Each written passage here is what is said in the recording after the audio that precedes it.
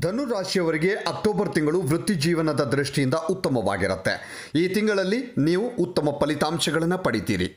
ನೀವು ನಿಮ್ಮ ಕೆಲಸದ ಮೇಲೆ ಗಮನ ಹರಿಸಿದರೆ ನಿಮ್ಮ ಪ್ರದರ್ಶನ ಸುಧಾರಿಸುತ್ತೆ. ಹೆಚ್ಚು ಉತ್ತಮ ಫಲಿತಾಂಶಗಳನ್ನು ಕೂಡ ನೀವು ಪಡಿತೀರಿ. ಈ ತಿಂಗಳ ಹದಿನೇಳರಂದು ಗ್ರಹಗಳ ರಾಜ ಸೂರ್ಯ ತುಲಾ ರಾಶಿಯಲ್ಲಿ ಪ್ರವೇಶಿಸ್ತಾನೆ. ಸೂರ್ಯಗ್ರಹದ ಈ ಸ್ಥಾನವು ಧನು ರಾಶಿಯವರ ವೃತ್ತಿ ಜೀವನಕ್ಕೆ ಶುಭವಾಗಿರುತ್ತೆ. ಶಿಕ್ಷಣದ ದೃಷ್ಟಿಕೋನದಿಂದ ಈ ರಾಶಿಯವರಿಗೆ ಸಂಪೂರ್ಣ ತಿಂಗಳು ಅದ್ಭುತವಾಗಿರುತ್ತೆ. ತಿಂಗಳ ಆರಂಭವು ವಿದ್ಯಾರ್ಥಿಗಳಿಗೆ ಉತ್ತಮವಾಗಿರುತ್ತೆ. ನಿಮ್ಮ ಏಕಾಗ್ರತೆಯು ಹೆಚ್ಚಾಗುತ್ತೆ. ಈ ತಿಂಗಳು ಧನು ರಾಶಿಯವರಿಗೆ ಕುಟುಂಬದ ಸಂತೋಷ, ಸಮೃದ್ಧಿ, ಶಾಂತಿ, ಸಹಕಾರದ ಶುದ್ಧ ಹರಿವು ಹರಿಯುತ್ತದೆ.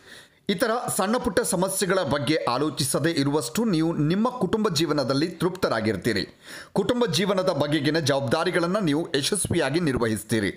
ಪ್ರೀತಿಯ ಸಂಬಂಧದ ದೃಷ್ಟಿಕೋನದಿಂದ ಅಕ್ಟೋಬರ್ ತಿಂಗಳ ಆರಂಭವು ಉತ್ತಮವಾಗಿರುತ್ತೆ. ಸಂಗಾತಿಯೊಂದಿಗೆ ಉತ್ತಮ ಸಾಮರಸ್ಯವನ್ನು ಹೊಂದಿರ್ತೀರಿ. ಪ್ರೀತಿಯ ದಂಪತಿಗಳು ಪರಸ್ಪರರೊಂದಿಗೆ ಉತ್ತಮ ಸಮಯವನ್ನು ಕಳಿತೀರಿ. ಆದರೆ ತಿಂಗಳ ದ್ವಿತೀಯಾರ್ಧವು ಪ್ರೀತಿಯ ಜೀವನಕ್ಕೆ ಸವಾಲುಗಳಿಂದ ತುಂಬಿರುತ್ತೆ. ವಿವಾಹಿತ ಜನರಿಗೆ ಸಮಯ ಸಾಮಾನ್ಯವಾಗಿರುತ್ತೆ.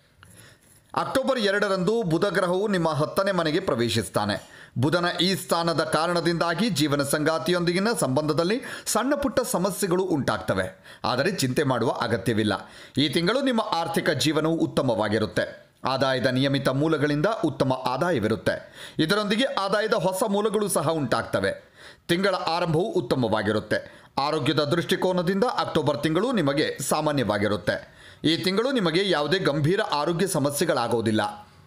ಇನ್ನಷ್ಟು ವಿಡಿಯೋಗಳಿಗಾಗಿ ಮೀಡಿಯಾ ಏಯ್ಟೀನ್ ಕರ್ನಾಟಕ ಚಾನಲನ್ನು ಸಬ್ಸ್ಕ್ರೈಬ್ ಮಾಡಿ ಹಾಗೂ ಹೆಚ್ಚಿನ ವಿಡಿಯೋಗಳ ಅಪ್ಡೇಟ್ಗಳಿಗಾಗಿ ಬೆಲ್ ಐಕನನ್ನು ಕ್ಲಿಕ್ ಮಾಡಿ. Thank you.